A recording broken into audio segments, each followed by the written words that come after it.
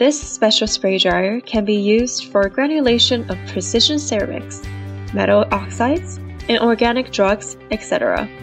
It is suitable for preparing powders with good sphericity and uniform particle size. It is capable of significantly increasing the density of pressed product. The precision pharmaceutical spray dryer is used to dehydrate fluids, solutions, emulsions, and suspensions to convert these liquids into powder form. It can keep the original composition of the material with careful precision, provides good solubility with high purity, and accomplishes these tasks while maintaining eco-friendly and fully automatic practices.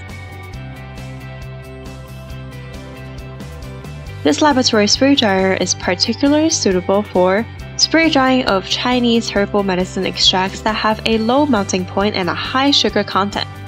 It solves the problems of sticky residue, which is a common problem among ordinary spray dryers.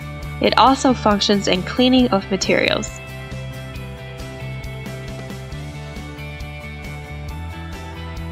Lab closed cycle circulation spray dryer adopts a closed cycle of inert gas nitrogen for spray drying powder products.